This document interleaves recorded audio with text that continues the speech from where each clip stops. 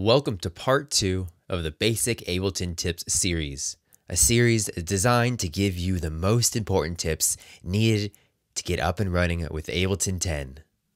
My name is Daniel with ReverbNation. In this tutorial, we're going to go over how to add arrangement markers, how to save a template so you don't start every project with a blank screen, and how to create groups within groups. So let's get started. So the first tip that we're going to go over is how to add arrangement markers. But why would we want to create arrangement markers? Arrangement markers help us navigate our song easily by indicating exactly where each section in our arrangement is. To create an arrangement marker, all we have to do is zoom in to the spot that we want to add an arrangement marker and right click. And then click add locator and then we can type in anything we want to. And since this is the beginning of our song, we'll type in intro.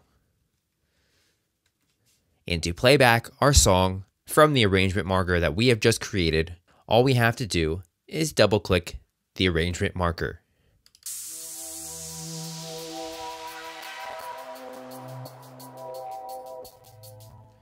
We can add in as many arrangement markers as we would like.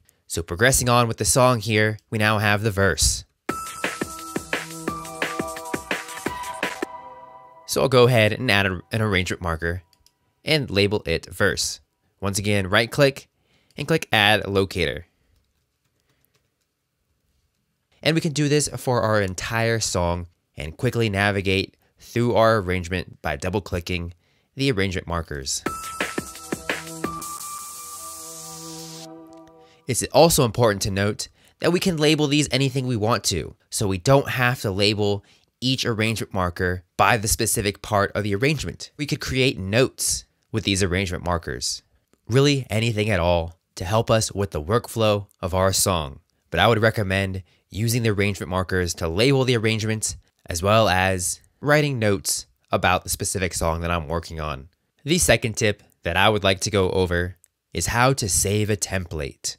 Templates can be a very helpful tool in your workflow as they allow you to start a project with plugins, instruments, markers, channels, or samples already loaded. This can help kickstart the creative process and help you get into the creation of your track much faster. So creating a template is highly recommended here.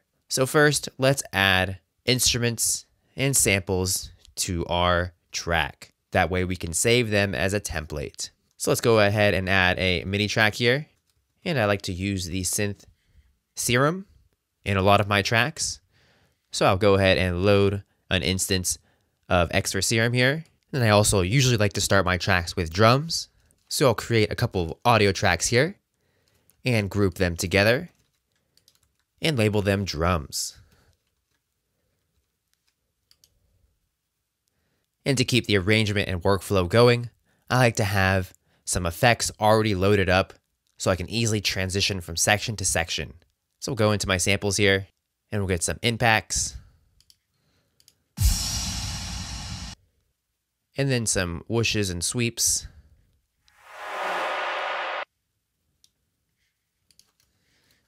And then a riser. We'll go ahead and group these also and title them effects. So now we have a nice start for our template. We'll want to save this. So each time we open up Ableton, our drums, serum, and our effects load also. All we have to do is go on over to preferences and then click on the file folder tab here and then navigate to the top where it says save current set as default and click save and then click OK when it asks overwrite the default set. And now we have saved our current project as a template. Let's go ahead and check this. Let's exit out of Ableton and reopen it. Don't save. Open back up Ableton again. We can now see that our template has been loaded. We have our drums group. We have our serum and we have our effects. So I definitely recommend loading up some of your favorite samples, plugins, effects, and load up channels that you know you're going to create. That way you can speed up your workflow. And the third and final tip for part two of this basic Ableton Tips series is creating groups within groups. Groups are a great way to organize all your MIDI and audio tracks and a great way to apply group processing to select tracks. To group audio files together, all we have to do is highlight the tracks that we want to group and then click Command G on a Mac or Control G on a PC. And this will group your channels.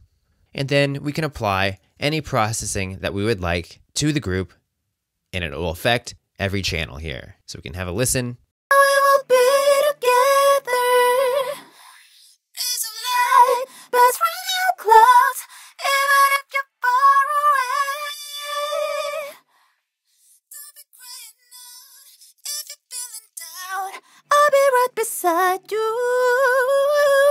you. Can hear our EQ movements here affected all the channels here.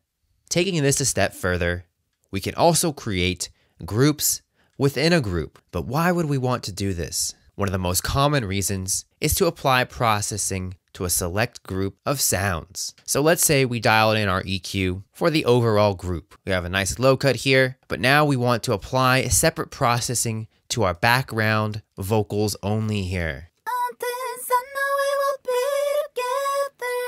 We want these background vocals to sit farther back in the mix, and we want to apply reverb to them. But we don't want to have this reverb affect the main vocals we have playing here. If we put on the reverb on the group, it will affect every single channel here. So if we go over to our background vocals and select both of them, and once again click Command G or Control G, we can create another group within our group. So the top group that we have here with our EQ will affect all our audio tracks. And now if we go ahead and load up a reverb plugin and place it on the group within the group, this will just now affect these two audio tracks while also having our EQ affect these channels as well. If we didn't have this group, then we would have to apply reverb to each individual channel. Or we would have to move these out of the group and then group these separately and apply another EQ plugin. So creating groups within groups will help save CPU and you can now be more efficient with your processing. So now if we go back to our group within a group, and again apply, apply that reverb, we can now listen to the tracks.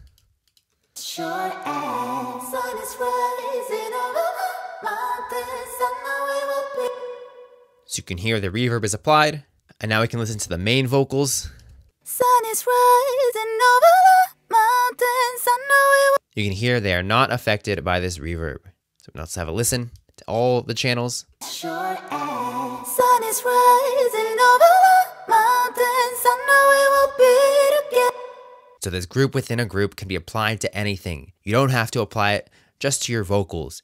You can apply it to instruments, effects, drums, really anything that you would like to help process your instruments in a more efficient way.